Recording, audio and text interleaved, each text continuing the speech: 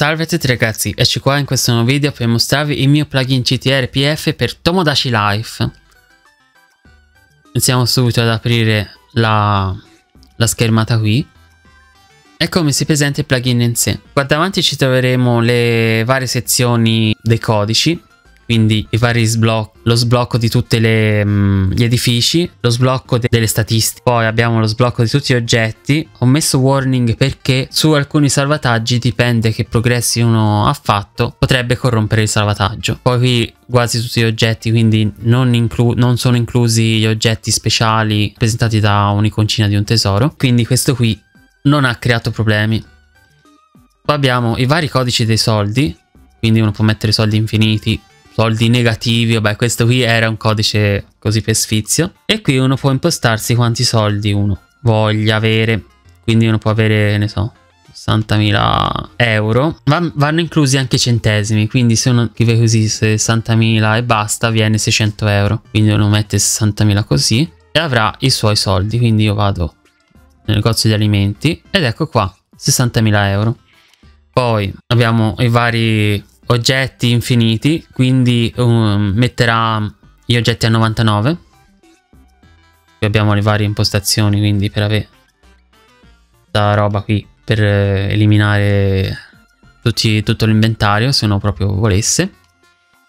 Vi rifaccio vedere poi. Poi eventi. Questo qui è per avere sempre l'evento della donazione, cioè quindi le donazioni sempre attive quindi io le faccio vedere. E qua abbiamo vabbè, le impostazioni delle statistiche. Poi abbiamo i vari upgrade del, mm, del condominio del, degli appartamenti insomma lì dell'edificio. Questo è per resettare le flash news. Quindi se uno dovesse premere questo ecco come ho fatto ora. Uh, succederà che ripeterà tutte le notizie. Infatti se ora vado qua metto questo. Donne, sono arrivate le notizie con la famosa mod toscana quella mia. Oggi, come mostrato ne come negli short. rilasciato finalmente il download della mod toscana del gioco. La per celebrare l'evento. Va bene questo. Grazie per la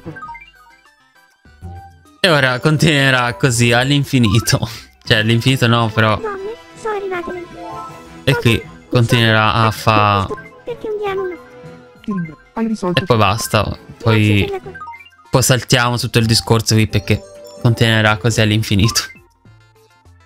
Ok abbiamo finito qua le notizie flash. Faccio vedere appunto questa qui eh, della donazione quindi uno qua raccoglie le donazioni qui i soldi aumentano perché non è un valore fisso. E quindi uno può avere le, le donazioni se proprio uno volesse anziché impostarsi i soldi che uno desidera. E quindi appunto uno potrà fare qui all'infinito. E si può attivare, se mi ricordo bene, anche quando uno cambia la data e l'ora, dice alcuni eventi potrebbero non essere disponibili, insomma con questo è possibile comunque attivarlo.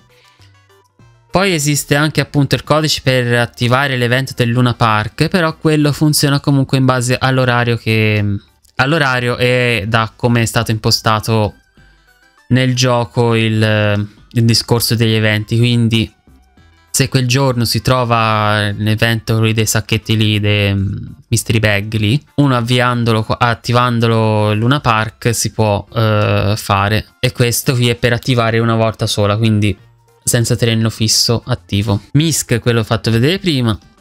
Vi faccio vedere ora questa parte qui dei codici, quindi andiamo all'appartamento, andiamo qui ad esempio, poi apriamo i regali qua, ora qui saremo, cioè siamo a niente, cioè siamo agli oggetti normali, punti oggetti speciali intendevo questi articoli speciali qua, se uno eh, mette appunto questo qui, tutti cibarie, ecco qua, a 99 tutte le opzioni. Ecco qua, gli oggetti, 99. E questo sarebbe per eh, sbloccarli singolarmente.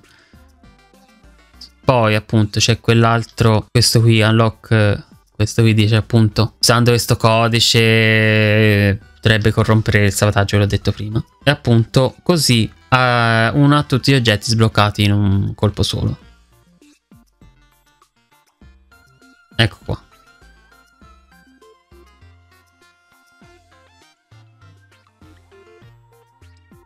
E se uno volesse fare l'inverso può fare in uh, items e mettere a zero qui.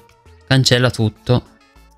E adesso uno non si ritroverà niente dentro l'inventario. Poi uno va a comprare e può comprare eh, gli articoli qui.